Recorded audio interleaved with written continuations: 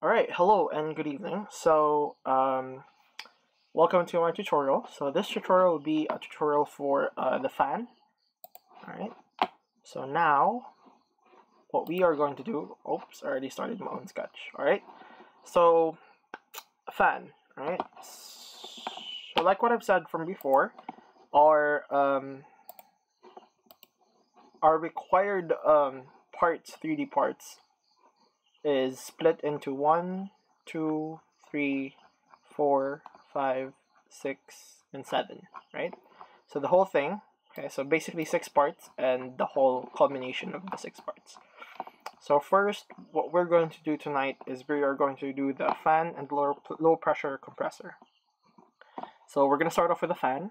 Um, first, you're going to need a 3D, um, no, no, a, a blueprint. You're going to need a blueprint. So anything would do.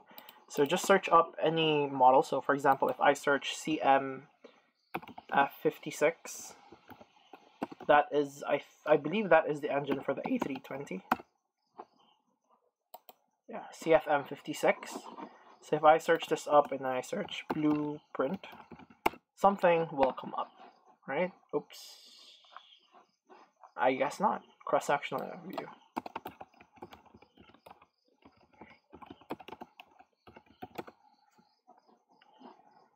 There we go. Uh, we could use this. Oh no, this one's better. So we could use this, alright? But then the problem with this one is that it's not detailed, right? it's detailed, but not in, to our liking. It's not HD enough, right? Um, but no worries, we could use this. Um, or you could also use my personal 3D blueprint, in which I will be posting the link down below on where you can download it. I'll probably upload it in my Google Drive, alright? So for now, what we're going to do is we are going to right click on the right plane and click sketch. Alright, from there we are going to tools, sketch tools, and then down below we can have a sketch picture. Am I recording? Yes, yes, I'm recording. Alright, so my picture, my sketch picture or my blueprint is already here. Okay. Uh, we always want high resolution so that we can have accurate um, designs. Right. Now, for this one, uh, a lot of people uh, are used to using the scale tool, which is over here, in which you can basically scale up and down your image accordingly. But I feel much more comfortable using my own methods, right? So my method of doing this is I would um, double click on the picture and make sure that my image or my nose is right there on the origin, right? Right there on the origin. Okay. Next up, what we're going to do, since this is a uh, this is a blueprint for the Trent 900, I'm going to be searching up Trent 900 length. Right? So, 179 inches. How long is that? How long is that? Oh, no, no. The fan diameter is 179 inches. Um, shit. Um, length or specifications? Oh lord. Length and size.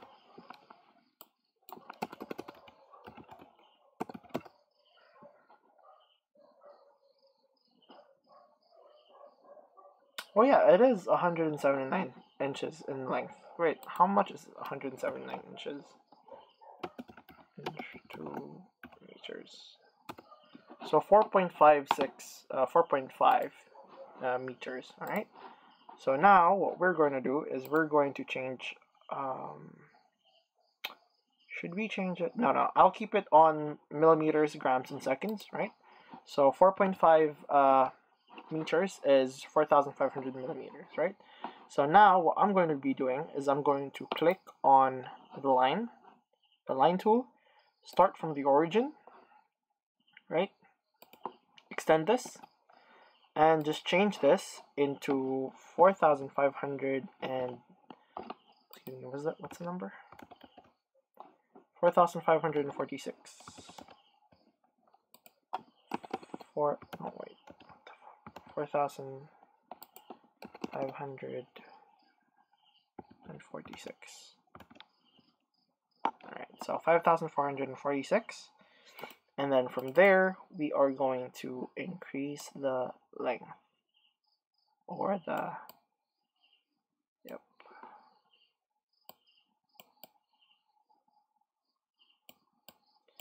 This is, this is the part where you're just eyeballing it. So it's going to be boring.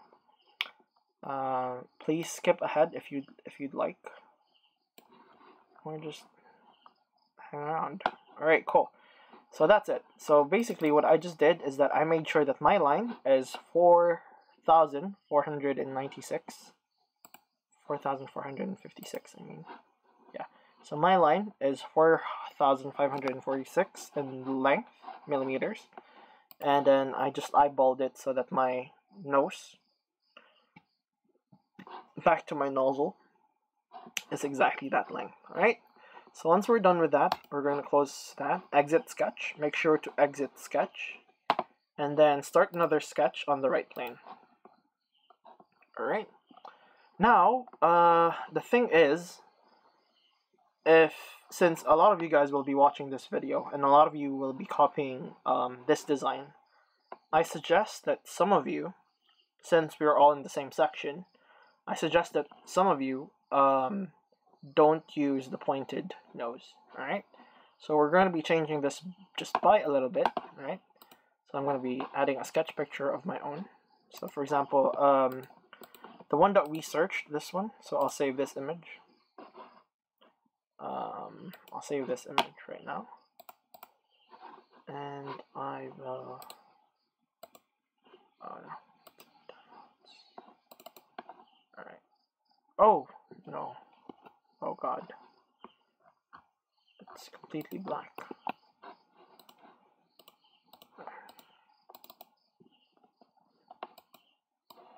Oh shit.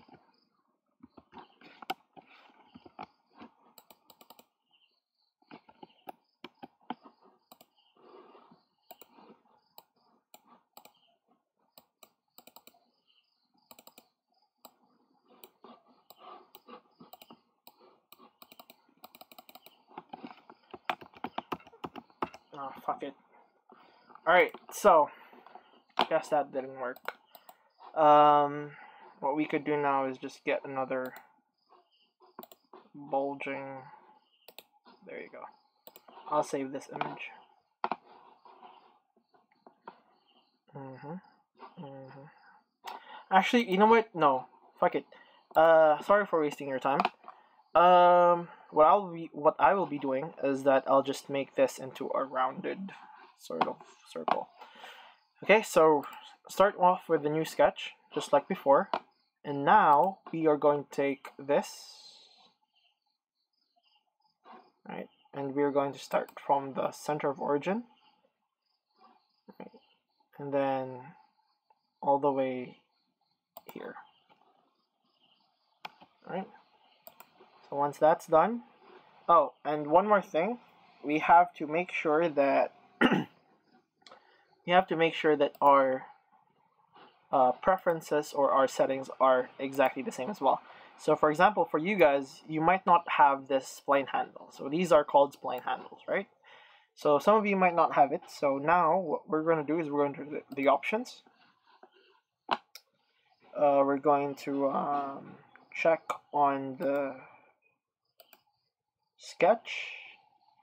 Right, we're going to sketch and then click enable spline tangency and curvature handles, right?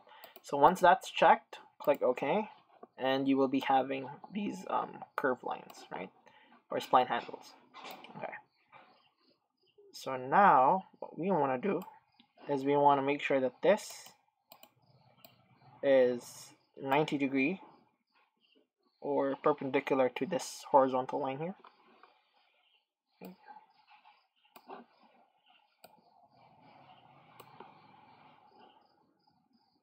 Okay.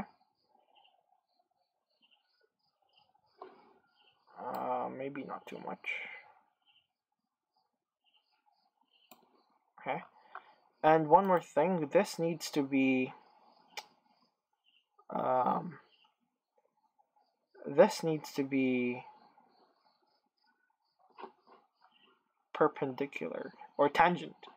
Right, so what we're going to do is we're going to create a, we're going to select a new line, right, from the center of origin, we're going to create a straight line, okay, and then we want to make this, hold control, and this tangent, alright, okay, the reason why we want this to be tangent, so that when we rotate this, we can have a perfect circle, because sometimes if, um, if the line is for example, if this is, oh, for example, if this is all the way there, then we could have like a dimple in the middle. And we don't want that because that's not aerodynamically correct. So um, I guess this is alright. Uh, we could have this there, but then it would be taking up more of our um, fan and we don't want that. So we're just going to lower that down by just a little bit. And there you go. So th this is just eyeballing, alright? So um, don't break your back doing this. um, right. So now what we're going to do is we're going to select this. Oh, yeah, I, I chose a line.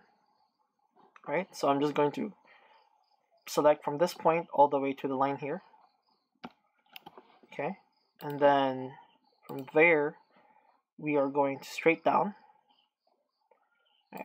So it's up to you guys. If you guys want to make this a bit more um, accurate or a bit more detailed, like what I did from before, you could. You could follow all of this, but then I suggest not since, you know, our professor only wants us to give short detail this. So now we are going to make magic. So select sketch number four, right? Go to features, and then select revolve boss base right? So again, let's do that again. Sketch 4, and then select Revolve Boss Base, right? And then click on the axis of the revolution, this line over here. Right, so as you can see, it didn't show. And I wonder why. Whew.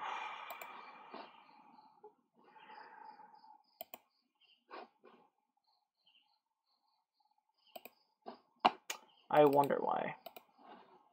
Okay, so so now we've run into um, our first problem, which is uh, finding out why this won't rotate.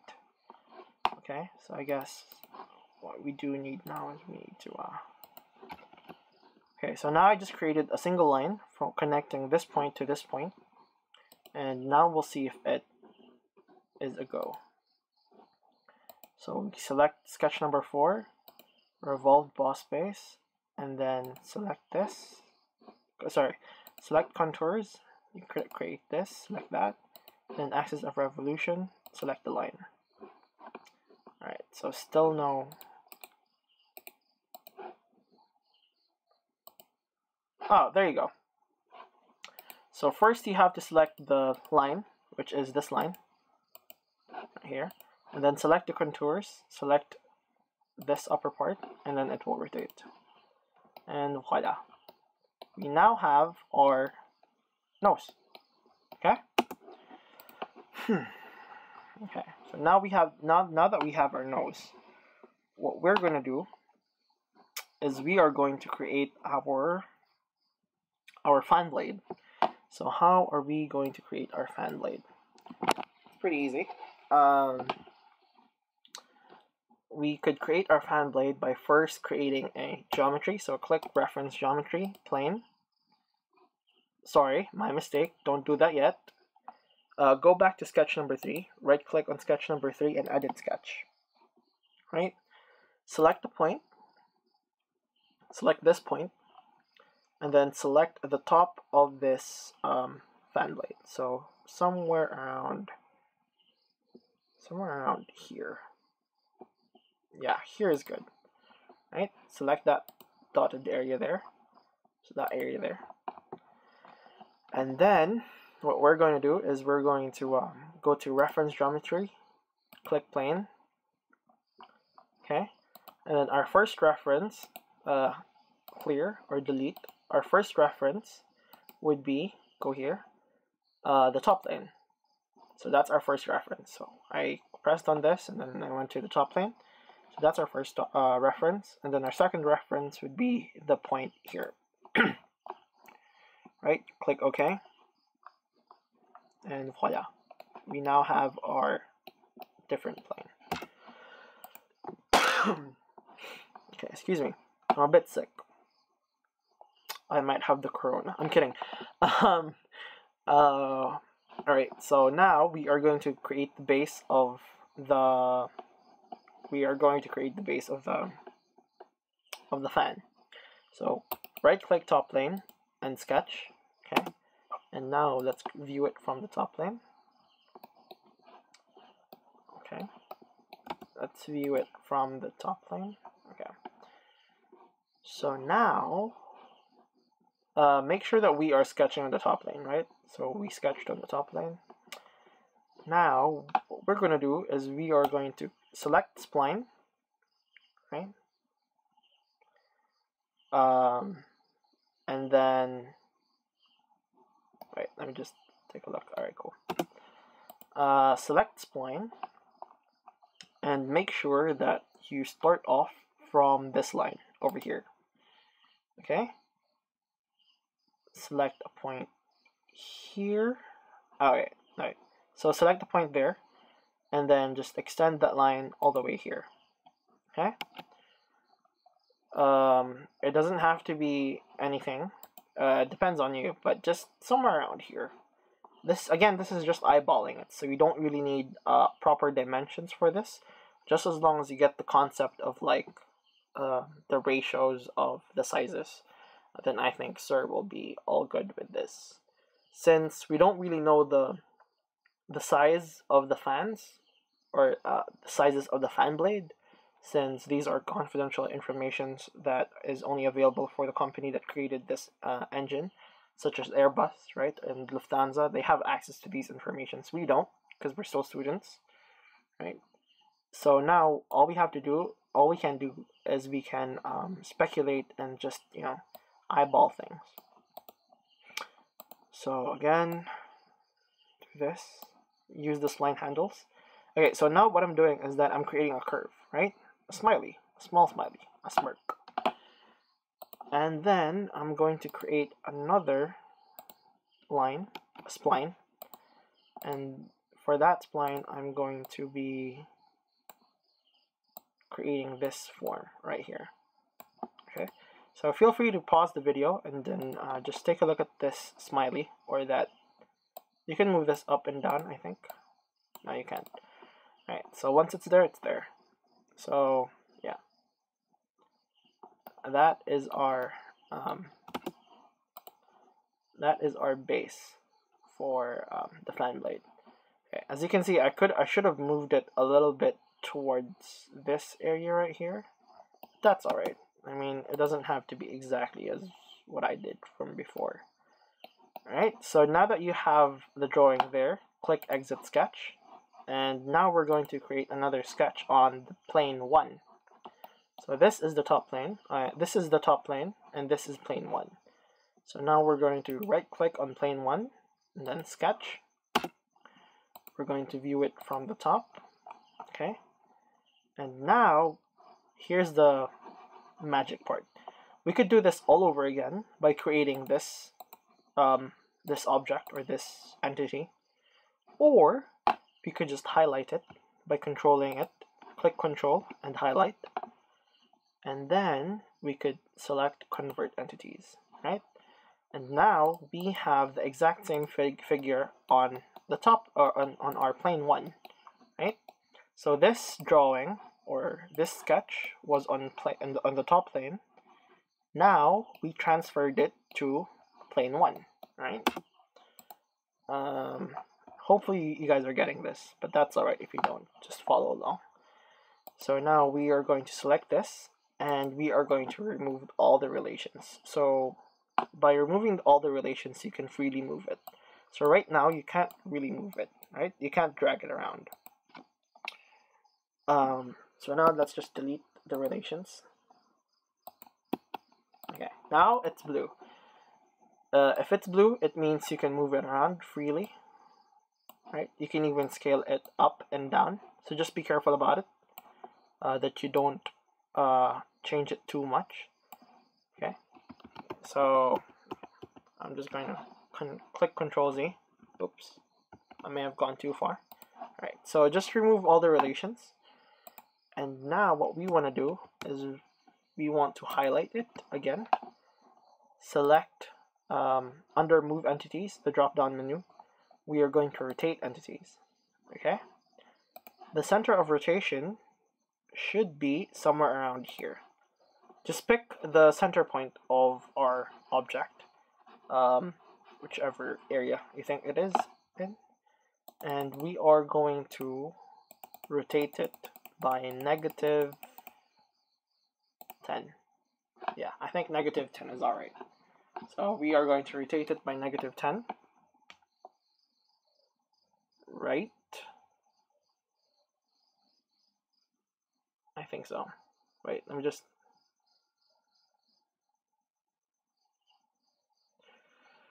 Hmm.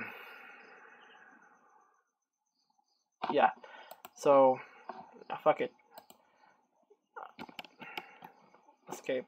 Alright. Sorry, I was thinking about the direction of our fan blade, if this is correct. If it's wrong, then just, yeah, do whatever you want.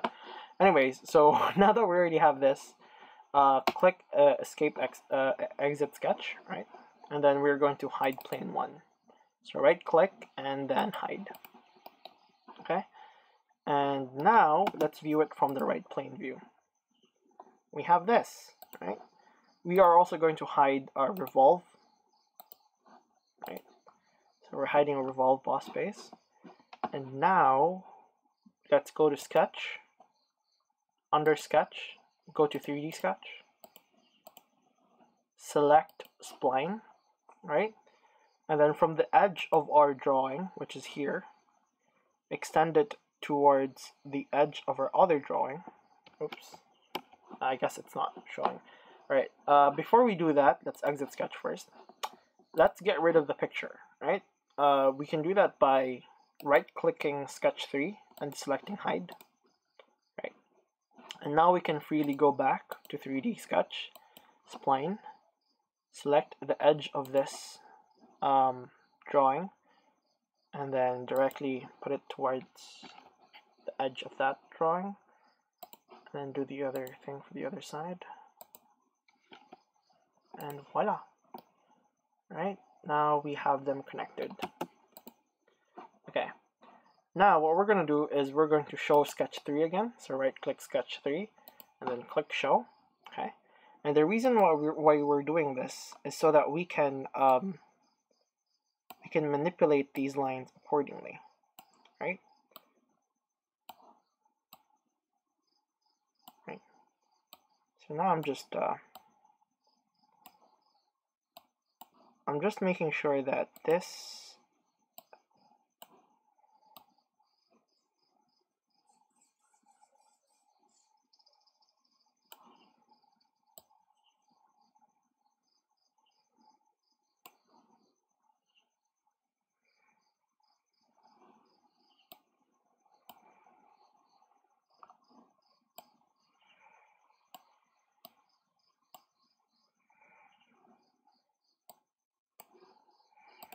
Alright, so this is not really there because um, apparently our fan blade is too big. It's too thick. Damn, boy. It's too thick. Uh, but that's alright. Um, I guess we could survive by just doing that. And then now we, let's hide sketch 3. And um, we're going to give this a little bit of a kick or a curve. Uh, so I'm just going to be moving this around by just a little bit. Right.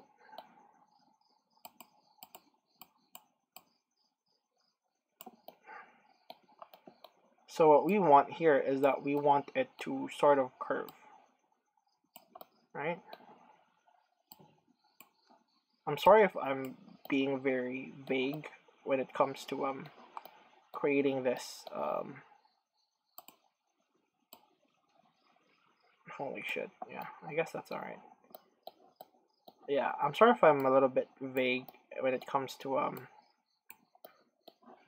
creating this um, fan blade or this engine in general. Because um, really it's just your artistic um, mind working. So it's really up to you. I'm just here to show you guys what tools I used and what methods I used. Right so right now I'm just eyeballing it so that it looks like it's a curved blade uh, is this good enough Am I doing this right? Holy shit. Right, you know what? Fuck it. I think this looks good. I think this looks good. Yeah, I, it just needs to curve a little bit. And we're all good. Right? We're all good. Fuck this. yeah, I think that's alright. Uh, just as long as it curved a little bit, that's alright. That's all what we want. Okay? So now let's go to features. I'm pretty sure that you guys can do a better job than I did um, in terms of, you know, making it curvy. Just don't make it look too curvy. Alright, so now what we're going to do is we're going to features, sorry, exit sketch and then go to features, create, uh, select lofted boss base, select profiles, right? Select the lower sketch and then the upper sketch and then it will show you like a preview. Select guide curves and select this curve. Click OK, right? select guide curve. This is our second guide curve. Right?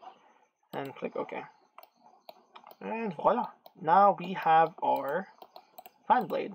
Right? So if we are going to show our revolve boss base, there you go. Now we have our curved um, fan blade. Okay? So we, what we can do here is that we can um, we can just uh, show our we can show this now what we can do is we can highlight the loft one. Oh, also make sure that the loft one, uh, go to edit feature, make sure that it is, that the merge result is unchecked. So if it's checked, just uncheck it, click OK. And now this is a separate body. Okay, it means it's not merged to our revolve area. And that's alright. So now uh, we're going to select loft 1. Uh, go to under linear pattern, uh, select uh, circular pattern, right? select direction, and then we are going to select on our line. Again, as you can see, it shows us the preview of a of the fan blades. We want this to be around 40. Right? Click OK. Let it load. Oops, I think I fucked up. Alright, let me just, uh... Yeah, I messed up. Okay, so there's a reason why I told you guys not to merge it, okay? Because if you merge it, it will take a really long time to create, um, to create the bodies. Okay, so let me just uh, pause the OBS for now, and I'll be back shortly. And we're back, baby. Alright, so, um, as what I've said, this is a mistake. Now it's stopped, and apparently it told me that it's it's failed. That's alright. So now we're going to uncheck this, right? And we're going to select bodies instead. Okay? And then uncheck features and faces and just select body.